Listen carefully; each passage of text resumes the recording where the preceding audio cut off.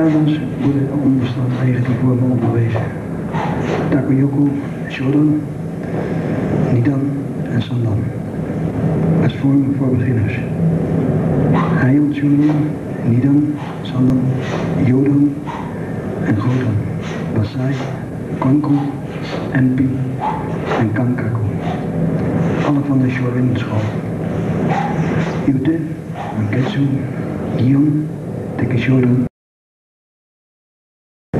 Tenno Kata als vorm van kumite.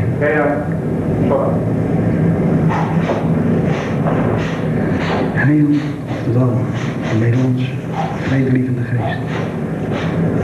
Er bestaan vijf vormen van heian, die een groot aantal verschillende technieken omvatten en bijna alle basishoudingen. Wanneer iemand deze vijf vormen beheerst, kan er erop vertrouwen dat hij in staat is zich degelijk te verdedigen in de meeste situaties. De betekenis van de naam van deze kata moet in dit verband gezien worden.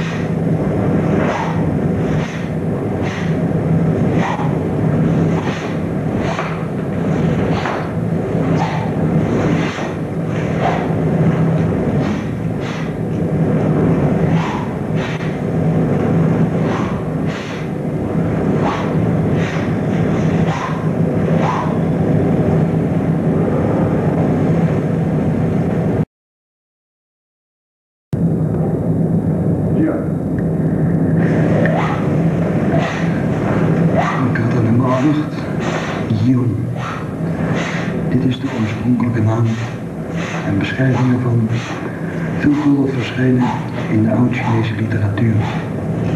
De Yi is een beroemde oude boeddhistentempel en er bestaat een bekende boeddhistenheilige genaamd Yion. De naam wijst erop dat de kaart werd ingevoerd door iemand die zich identificeerde met de Yion-tempel. Evenals de naam Shorinji Kempo afgeleid is van zijn verband met de Shorin-tempel. Betrekking